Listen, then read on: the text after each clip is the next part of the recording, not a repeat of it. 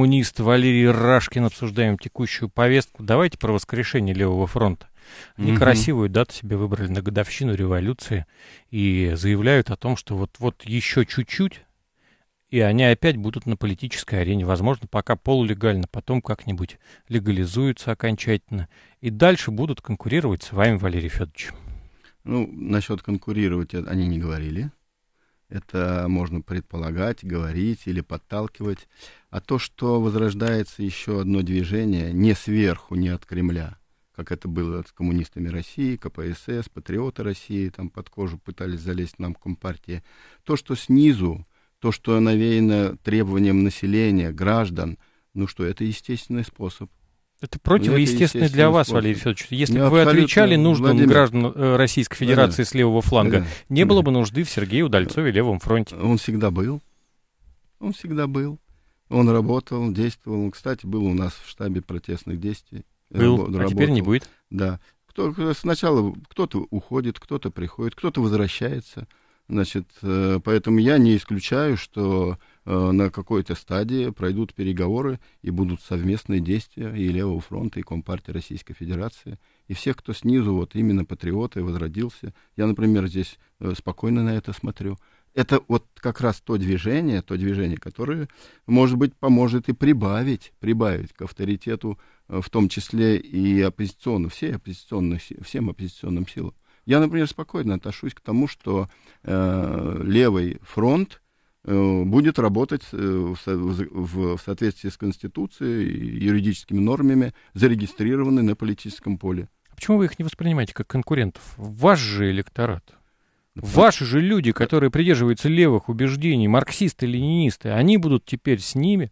Нет э, конкуренции Э, конкуренция может э, в бизнесе быть, конкуренция может, если ты во власти в Кремле сидишь, так сказать, конкуренция. А когда оппозиционное движение возрождается одно, другое, третье, если есть возможность, и они договариваются, охватывая большее количество граждан в единую организационную какую-то структуру, ну, я считаю, это наоборот нормально. Да, я но, считаю это наоборот нормально. Но они э, вас считают лоялистами, э, не признают в вас вот именно настоящую оппозиционную силу, поэтому и создают свое движение. Это э, спор, это диалог, это, так сказать, э, вопрос э, взгляда на ту или другую ситуацию. Это вопрос тактики, те, техники, технология, методики проведения. Никто же другого ничего не придумал в человеческом обществе. Оппозиция всегда работает парламентским, непарламентским методами. Пикеты, значит, митинги, шествия, работа в трудовых коллективах, работа на э, парламентское этого движения, выборы, э, мандаты, работа на этих площадках. Вот в этой части я не вижу конкуренции. Потому что население сегодня, население, оно может быть так сказать, к какому-то слову привязывается, как на выборах сейчас коммунистам России. Вот увидели коммунисты, и все, по этому галочку. Если это будут э, конкуренты на выборах, подчеркиваю, против кандидата Рашкина будет, допустим, э, значит, Удальцов выдвинут, и будем конкурировать. Да, здесь конкуренция, потому что не договорились, не посмотрели на площадке до того, как выдвинуться, значит, чтобы эти два э, растаскивали голоса э, левого так сказать, ориентированно, да. левоориентированного избирателя, да, это конкуренция, но мы способны договориться, способны найти варианты, на мой взгляд, я считаю, что это надо так и делать, а вот уличная борьба, борьба просветительская, борьба за умы граждан – Значит, здесь, я считаю, никакой конкуренции нет. Чем больше будет таких граждан, и причем таких взвешенных лидеров, умеющих заводить людей, вести за собой, тем быстрее общество придет к тому, что вот этот э, кап-страна, так называемая Россия, э, которая неизвестно, как, что построила, э, надо из этого тупика выходить, из этого страна заблудилась. Дорога есть, это социализм. Смотрите, Дорога. Вот и, и чем больше таких людей будет, тем быстрее придет прозрение, и люди пойдут по дороге социализма. Сейчас до президентских выборов остается совсем немного времени. Особенно если говорить о полноценной, полномасштабной избирательной кампании. Жириновский сказал, что он пойдет на выборы. Явлинский сказал, что он пойдет на выборы. а коммунисты отмалчиваются. У нас еще идет э, процедура принятия решения. Мы всегда... Процедура выдвижения Геннадия Андреевича Зюганова в качестве кандидата в президент? Реш... Ну, в том числе, да. В том числе, да, Володя. Значит, скажу, Вопрос что Зюгановым решен? процентов на 90 и более э, первичные местные отделения, региональные отделения высказались, что самым благоприятным э, э, нашим кандидатом является Геннадий Андреевич Зюганов. Да, это уже де-факто. Э, собирались народно-патриотические силы, которые тоже обсуждали, трижды собирались, э, то же самое высказывались, решение пока еще не приводно, но высказывались предпочтения, что будет, чтобы выдвигался Геннадий Андреевич Зюганов. Значит, смотрели мы здесь и совместные действия, силы, которые были. То же самое, Геннадий Андреевич Зюганов. Но процесс выдвижения, он у нас давно отработан, эта технология, он еще продолжается. И когда подойдет период выдвижения, то соберется съезд по закону о выборах и по нашему уставу и выдвинет кандидатуру. Очень высокая вероятность, я считаю, она закономерная просто в нашей партии, что будет выдвинут лидер Геннадий Андреевич Зюганов.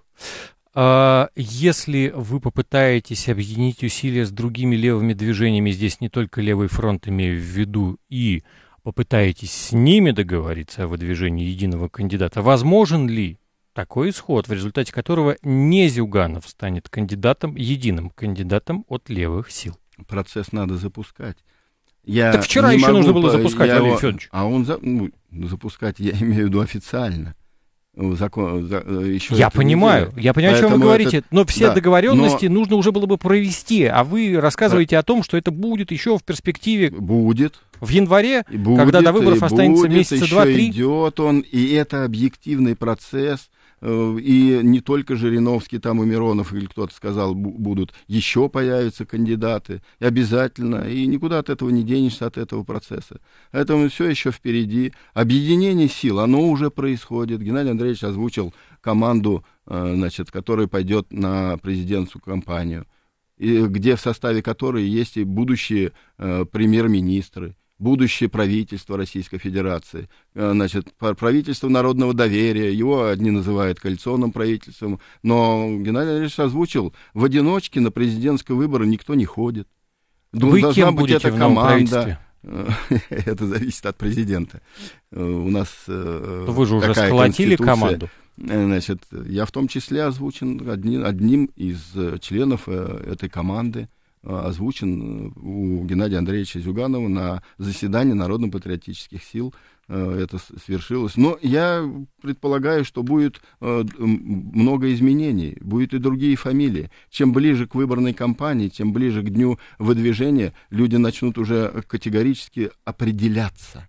А определяться с кем по пути, всем, э, значит, с действующим президентом, либо с теми, которые, так сказать, уже навыдвигались, или с нами, вот, народно-патриотическими силами, левыми, левыми силами, в том числе и левый фронт и все остальные. А, определяться, потому что это главная должность в стране, главная должность, от которой зависит на 90% социально-экономической политики. Какое будет правительство, какие будут губернаторы, какая, что мы будем делать, что мы будем строить, будет ли работать экономика, будет ли сильная социальная политика в здравоохранении, в образовании, по детству, есть ли наработки. Вот я скажу, что если с точки зрения команды, программы и, э, значит, перспективы, самые отработанные, ну, естественно, я думаю, Володь, другого от меня не услышишь, что самые отработанные эти вопросы у Компартии Российской Федерации.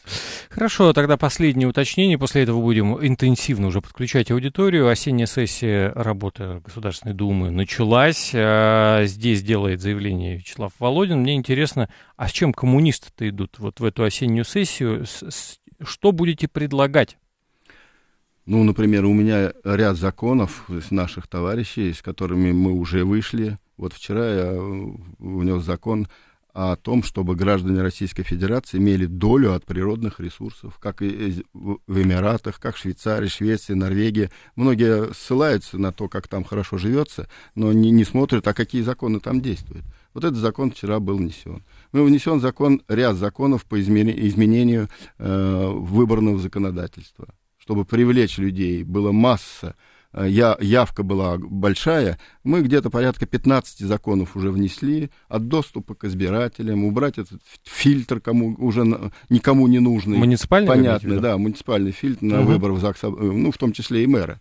Москвы и ЗАГС Собрания, а то в Бурятии нашего Мархаева не зарегистрировали, а он там был, победил бы.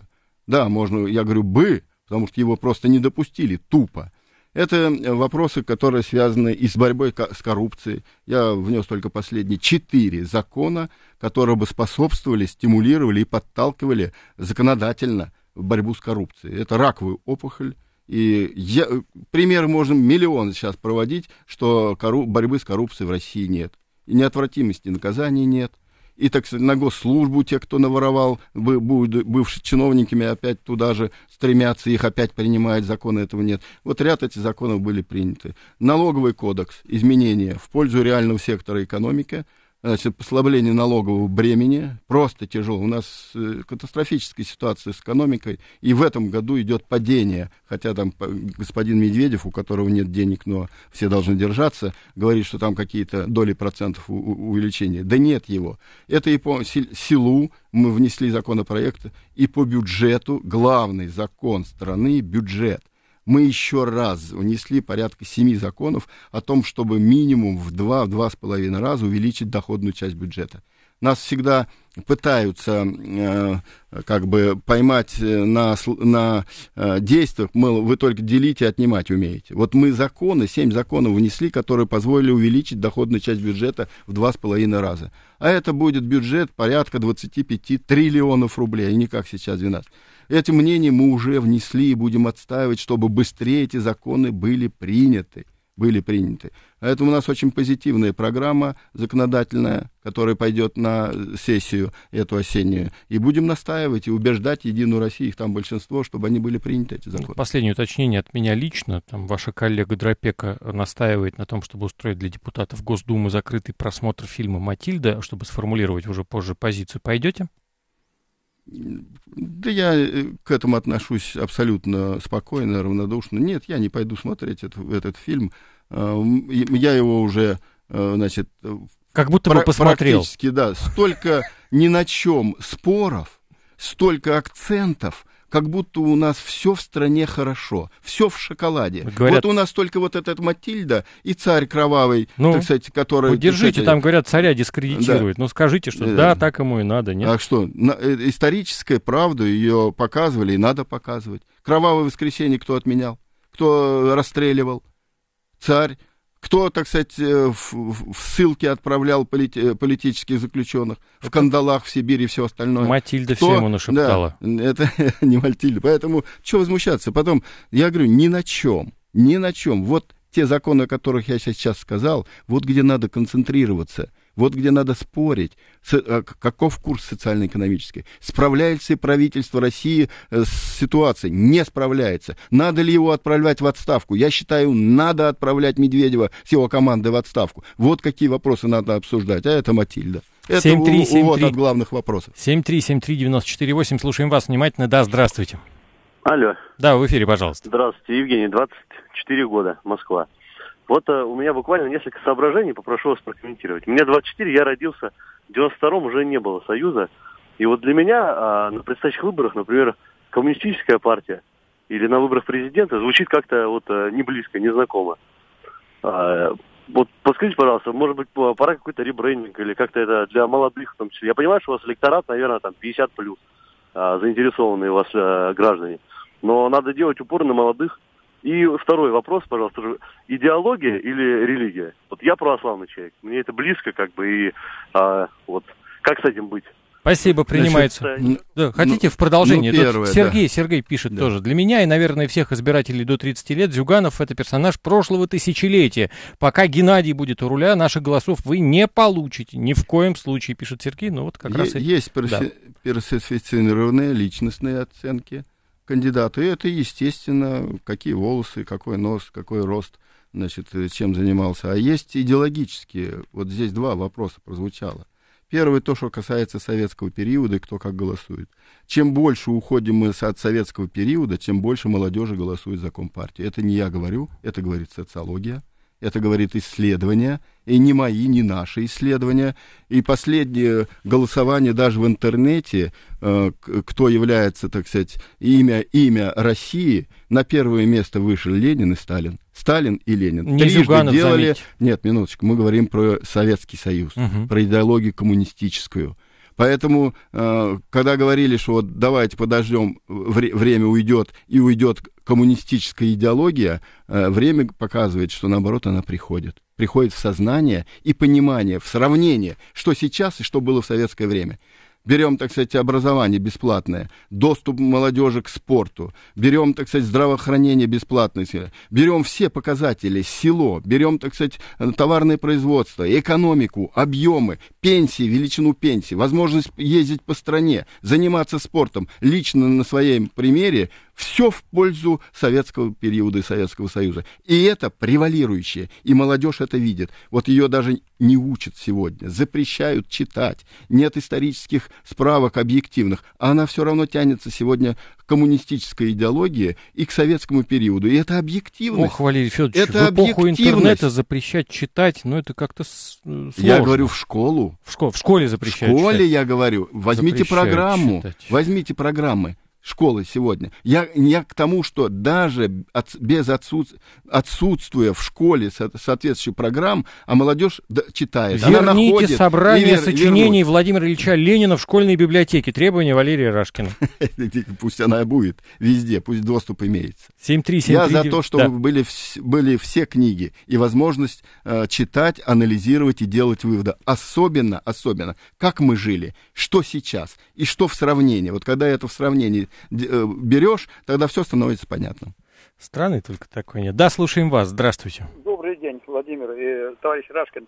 Оно, извините, но почему мы сравниваем всегда... Марс разве мечтал о создании Советского Союза? Или Троцкий, или еще там кто-то. Понимаете, вы не путайте коммунизм и советизм, господа. Это совершенно разные понятия. Коммунисты родные. Спасибо, принимается, пожалуйста. Кстати, ну, про это, религию и идеологию это, тоже не да, ответили. Это, это теория марксизма-ленинизма, на основе которой строится работа, тактика, стратегия и программа Компартии Российской Федерации, это единая, единая, структурированная, и, значит, ее разрывать нельзя. Разорвете философию, уберете идеологию, э, не будет партии коммунистической. Поэтому я, я это не разделяю. Кстати, религию То, что будете касается, запрещать, когда в, к власти придете? Значит, четко, однозначно, в нашей программе и в нашем уставе э, свобода вероисповедания закреплены закреплены, и каждый, э, значит, может верить, может не верить, может быть, так сказать, марксистом э, на, на основе э, марксистской теории, может материалистом быть. И у нас в партии есть и буддисты, и мусульмане, есть православные христиане. Поэтому этот вопрос у нас уже пройден. Мы этот вопрос решили, его вписали в нашу программу, устав, и люди, которые вступают к нам в партию, это прекрасно знают. 7373948, слушаем вас внимательно. Да, здравствуйте. Да, вы в эфире. Здравствуйте. Я вопрос Валерию э, Федоровичу. Э, да, задавать. пожалуйста, задавайте. Значит, во-первых, вот в самом начале была тема о том, что, что это за э, массовые звонки телефонные. Я так полагаю, это просто-напросто тренировка ФСБ э, по поводу 5.11.2017, что Мальцев объявил будет э, э, свергать ну, ясно, кого свергать будет. Ну, Мальцев, он, Мальцев, он же каждый день свергает кого-то, нет? Нет, он на пятое один. А, на пятое теперь. Хорошо, будем говорить. Да. да. Теперь следующий вопрос. Вот, Валерий Федорович, не кажется ли вам, что вы уже все э, полностью со своим Зюгановым, вы, ваш электорат это одни пенсионеры, и если вы 17 или сколько там лет, вы только рассказываете, что мы это не можем, мы то не можем. Вы знаете, как родители, пенсионеры, а жалуетесь на обалдуя сына наркомана. Спасибо, принимаю. Спасибо огромное. Коротко, если ну, можно, у нас да, 20 секунд. Кор- коротко. Значит, то, что касается ФСБ и спец, спецоперации, не согласен, не думаю, убежден, что этого нет, такого, такого чудовищной спецоперации нельзя проводить. Пункт второй. Второе, еще раз говорю, чем дальше времени, чем от выборов к выборам, все больше и больше за нас голосует молодежь и средний возраст. К сожалению, пенсионеры голосуют за партию власти, Единую Россию и Путина. Вот это факт. Вот от факта никуда не убежишь. Поэтому за, будущее за нами, за Компартией. Это был коммунист, депутат Госдумы Валерий Рашкин. Спасибо, Валерий Федорович. Приходите еще. Спасибо.